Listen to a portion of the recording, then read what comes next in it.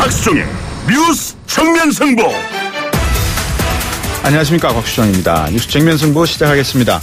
곽성곤 혹시 누군지 아시겠습니까? 들어보신 적 없으시죠? 지금 중국은 시진핑 체제 굳히기에 들어간 듯 합니다. 순정차이 우리말로 손정제 충칭 당서기가 실각했죠. 이 중국말에 쌍규라는 말이 있습니다. 정해진 시간과 장소를 놓고 바로 구속 수감하는 것을 쌍규라고 합니다. 공산당 직접 감찰부가 조사하는 방식을 말합니다. 여기에 쌍계라는 말도 있습니다. 모든 당직과 공직을 동시에 내려놔야 한다는 의미입니다. 평생 지은 죄를 탈탈 털겠다는 의미죠. 이런 작업을 그린 사람이 누군가 하면 바로 곽성곤 중국 공안부장입니다. 출신이 경찰이냐고요? 군이냐고요? 아닙니다. 민간인 출신입니다. 중국 최대 알림륨 회사 대표 출신입니다. 그런 사람을 시진핑 주석이 왜 끌어다가 공안부 최고 수장에 앉혔을까요? 추진력과 돌파력 때문이라고 합니다. 군도 경찰도 반드시 군 출신, 경찰 출신이 해야 한다. 선입견 아니겠습니까? 하지만 그런 인재를 키우는 건 국가고 그런 인재를 받아들이는 건 국민입니다. 국가와 국민이 바로 서야 경제도 돌고 사회와 윤리, 도덕이 바로 서는 거 아닐까요?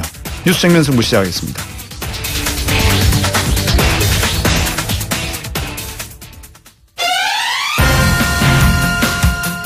2,500원이었던 담배 한 갑이 2015년 4,500원으로 올랐죠. 누가 올린지 저는 압니다. 누가 이 법안을 발의하려고 했던 건지 저는 알고 있습니다. 하지만 방송을 진행하는 사람이기 때문에 말을 못하겠습니다. 가격 올리면 판매량 줄고 흡연자도 줄어들 것이라는 기대였지만 결과적으로는 서민 증세였습니다. 이어서 소주값 올린다는 이야기도 나왔었습니다. 자유한국당이 담배값 다시 내리겠답니다. 올렸다가 내린답니다.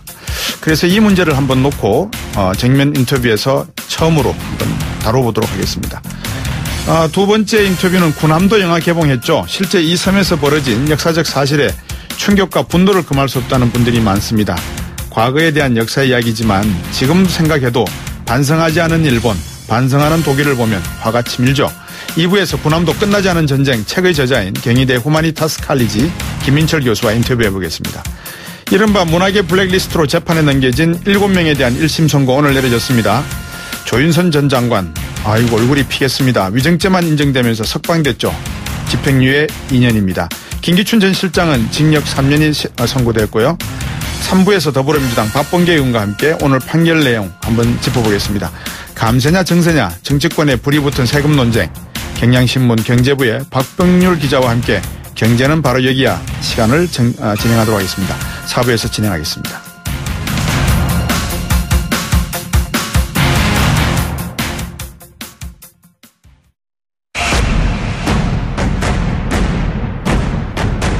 곽수정의 뉴스 정면 승부. 어, 담배값을 2,500원 하던 걸 4,500원으로 올리자고 한 사람은 제가 안다고 했습니다. 이 법안에 대해서 담배값 다시 내리자 법, 안 대표 발의했습니다. 윤한홍 자유한국당 의원이십니다. 안녕하세요. 네, 안녕하세요. 윤한홍입니다. 네. 지역구가 창원이시죠? 어, 창원 마산입니다. 창원 마산이시군요.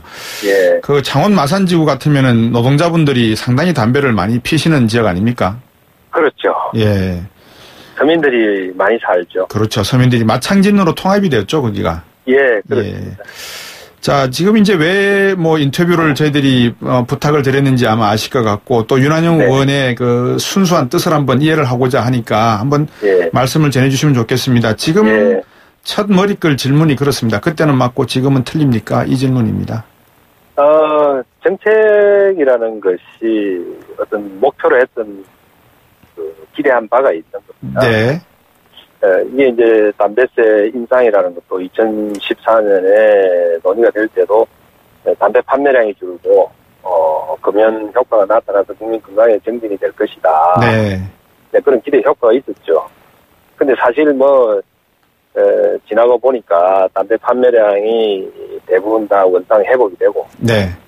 에, 담배 판매 감소를 통한 건강 정진 효과보다는 결국 서민에게 부담만 되는 네네. 에, 정세 효과만 있었다. 네. 뭐 그것을 인정하지 않을 수 없지 않습니까? 예.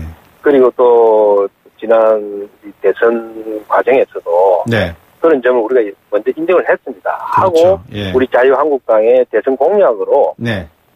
우리가 또 홍보를 국민들에게 다 했었죠. 예, 예.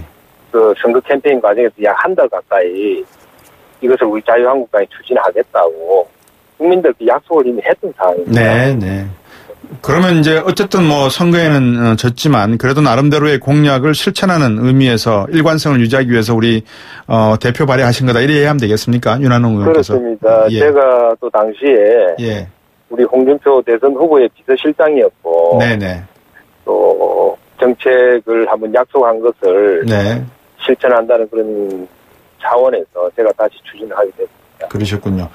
네. 그 말씀하셨지만 당시에도 사실 2,500원에서 4,500원 올릴 당시에도 전문가분들은 올리려 그러면 한 만 원 정도 올려버려야지 이게 담배를 끊는 효과도 어느 정도 나타나지 2,000원 가지고는 결국 효과가 없을 것이다. 증세만 나타날 것이다 그랬는데 이게 담배 세수가 올해 12조란 말입니다. 예상되는 게.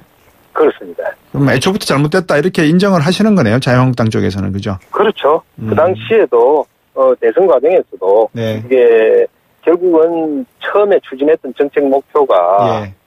다른 방향으로 갔다. 예. 정책 판단에 오류가 있었다는 그런 우리 내부적인 자기 반성이 있었던 것이죠. 예. 그리고 또 결과적으로 서민들에게 부담만 가져왔다. 음. 그렇다면은 이것이 정책적으로 정부가 에, 추진했던 결과가 나타나지 않는 정책인데 계속 가져가는 것은 맞지 않다. 네. 그것도 하나의 정치 혁신 아니겠느냐 그런 생각으로 이미 우리가 정, 대선 공약으로 내세웠고 네. 그 후속 조치를 진행하고 있는 것입니다. 네네. 문재인 정부가 생각하기에 세입 부분이 자동적으로 늘어나는 부분이 한 10조 정도 될 거다 이렇게 매년 보고 있는데요. 예. 만약에 이게 담배세를 갖다가 2,000원 인하를 해서 통과를 시켜서 2,500원으로 돌아간다 그러면 문재인 정부의 예산 정책 178조에 대한 그림은 다시 그려야 되는 부분이 있지 않을까요? 어떻게 보십니까? 아, 그런 부분은 이제 뭐 문재인 정부에서 판단하겠습니다만은 네. 에, 서민 부담을 줄여주자 그렇군요. 그런 측면에서는 뭐 문재인 정부나 우리 자유한국당에나 문제가 없다고 생각합니다. 문재인 대통령도 올 1월 달에 네. 그 대담집을 냈지 않습니까? 대한민국이 묻는다. 네. 거기에 보면 담배값은 물론 서민들에게 부담을 주는 가- 관저세는 내리겠다. 예. 이렇게 말씀을 하셨고 이미 또 우리가 2014년 담배값 인상 논의 때 더불어민주당 국회의원분들은 다 담배값 인상에 반대를 하셨지 않습니까? 네. 그거는 뭐 누구나 다 아는 사실. 예. 지금에 와서 담배값을 자유한국당이 다시 원상 회복하자 하니까 지금 와서 다시 그러면 반대를 한다면 네. 그건 에, 내가 하니까 괜찮고 상대방이 하면 안 된다 하는 그런 거 아닌가 싶 고 예. 저는 우리 정치권도 이제는 정책을 보고 판단하자. 이 정책이 국민에게 필요한 정책이냐 아니냐 그것을 보고 판단해야 되지 않느냐 네. 그런 시기로 가야 되지 않느냐 그래야 정치권이 달라지지 않겠느냐 국민들이 음. 신뢰하지 않겠느냐 그렇게 생각합니다. 그 부자들에 대한 뭐 소득 5억 원 이상, 연소득 5억 네. 이상의 부자들에 대한 정세, 그리고 법인세의 이명박 정부 당시의 원점으로의 회기, 뭐 이런 이야기를 하시면서 서민들에게 만약에 소득주도 성당의 문재인 정부가 정말 하나의 경제 지침 방향을 잡았다면 자유한국당 쪽에서도 조금 이런 부분 한국 경제에 대한 같은 고민이시라면 소득주도 성장이다. 그러면 서민들의 세금 부담을 오히려 낮춰주는 그런 고민은 해보실 필요가 없으실런지요? 그렇죠. 이 담배값 인상이라는 게 결국 서민에게 세금을 낮춰주는 것이고, 네. 그리고 뭐 초고 소득자에 대해서 이제 소득세를 올리겠다고 하셨지 않습니까? 네. 그런 부분도 만약에 서민을 위해서 쓰겠다. 그렇다면 뭐 굳이 뭐 반대할 이유는 없지 않겠느냐 보이고, 네. 이제 법이 대기업에 대한 법인세 인상 부분은 판단이 좀 다르죠. 음. 왜냐하면 네. 지금 글로벌 경제 시대에 예. 우리나라 대기업들은 전부 글로벌 기업입니다. 예. 그러다면 기업의 대외 경쟁력이 심각하게 약화될 뿐 아니라 네. 기업이 국내 투자보다는 해외 투자를 할 수밖에 없습니다. 대기업들이. 예. 거기다가 이 대기업은 혼자 하는 것이 아니고 많은 협력업체, 하청업체가 있지 않습니까? 네. 우리 조세의 것 같은 경우는 통상적으로 힘이 있는 자로부터 힘없는 자에게 전가가 이루어집니다. 예. 그러면 대기업에 세금을 부다 어, 올린다 법인세를 예. 이것은 거의 대부분 협력업체 증가가 될 뿐 아니라 또 국내 투자를 줄이고 해외 투자를 늘린다면 대부분 국내 일자리가 줄어드는 것이죠. 네. 그러면 지금 문재인 정부가 공무원을 늘려서 일자리를 늘리겠다고 했는데 예. 결국 그 정책을 이용하기 위해서 민간 기업의 일자리를 줄이는 거 아니겠습니까? 예. 민간의 대기업 법인세를 올린다는 것은. 네. 그래서 초고소득자에 대한 소득세 부분에 대해서는 뭐 굳이 반대할 이유가 없습니다만은 네. 대기업 법인세 인상 부분에 대해서는 이것은 아마 저도 마찬가지 우리 자유한국당은 네. 아마 강력하게 반대를 할 겁니다. 지금 아마 문재인 대통령께서 오늘 대기업군 한 여덟 분인가 일곱 분하고 식사하고 간담을 하시는 걸로 알고 있고요. 예. 어, 근데 지금 저는 그런 것 같습니다. 자유한국당에 워낙 그 훌륭한 분들이 인재풀이 많지 않습니까? 예. 아, 그뭐 연구소도 있고요. 그렇다 그러면 이번 문재인 정부에서 말씀하시는 정세와 감세 부분에 있어서 좀 더 구체적이고 체계적인 그런 연구 결과를 가지고 말씀을 하시는 게 어떨까 생각이 듭니다. 예를 들면 최저임금 인상 문제 이것만 하더라도 지금 여러 견에서 각자 다른 의견을 내고 있단 말입니다. 그러면 예. 자유한국당에서 좀더 어, 체계적인 안이 나올 수 있고요. 공무원 수 증가한다는 말씀 이거는 정세 효과와 똑같습니다. 예를 들면 왜냐하면 재정적으로 뒷받침이 안 되면 불가능한 거 아니겠습니까? 예. 그러니까 지금 제가 방금 말씀드린 대로 예. 그 세금을 올려서 공무원을 늘리는 부분이 좋은 건지 또는 세금을 낮춰가지고 우리 서민들에게 소득 증대 효과를 바로 가져오게 하는 것이 맞는 것이 예. 하는 부분은 좀 더 토론이 많이 이루어져야 될 부분입니다. 일방적으로 대통령께서 말씀하셨다고 그래가지고 예. 토론 없이 일방적으로 진행되는 것은 이제는 고쳐져야 될 상황이죠. 네. 청취자분이 보내주신 문자 제가 몇 가지 소개시켜 드리겠습니다. 요를 네. 한번 들어보시고, 어, 뭐 이게 일반적인, 음, 뭐라 그럴까, 견해는 아니라고 생각이 듭니다만, 그래도 보내주신 네. 글이니까, 8037번님, 저 흡연을 합니다. 하지만 담배값 인하 반대하겠습니다. 이런 말씀을 하셨고요. 예. 어, 5405번님, 자유한국당에서 펼치시는 정책이 오락가락 하는 것 같습니다. 좀 더 일관성을 가졌으면 좋겠습니다. 이런, 형- 이런 글을 보내주셨습니다. 보내주신 내용이 대부분, 음, 자유한국당이 오르졌다가 내렸다 하는 이런 모습에 조금 실망하신 듯한 그런 모습인 것 같습니다. 물론 그럴 수도 있겠습니다만은 한편으로 보면 정책을 추진하다가 이것이 정책 효과 나타나지 나타나지 않으니까 부담만 네. 생기니까 예. 아 잘못되었다 다시 바로잡겠다 하는 그런 측면에서 본다면 오히려 더 신선하게 보이지 않겠습니까? 네. 뭐 일관성 있게 그렇게 추진하시면 또 나름대로의 의미가 있을 것 같기도 하고요. 네. 어, 제가 듣기로는 윤한웅 의원께서 또 유류세 문제도 한번 고민 중에 계신다는 이야기를 들었습니다. 마찬가지입니다. 이것도 지난 대선에 우리 자유한국당의 공약이었습니다. 네. 그래서 우리가 2000cc 미만의 우리 서민들이 주로 타는 자동차에 네.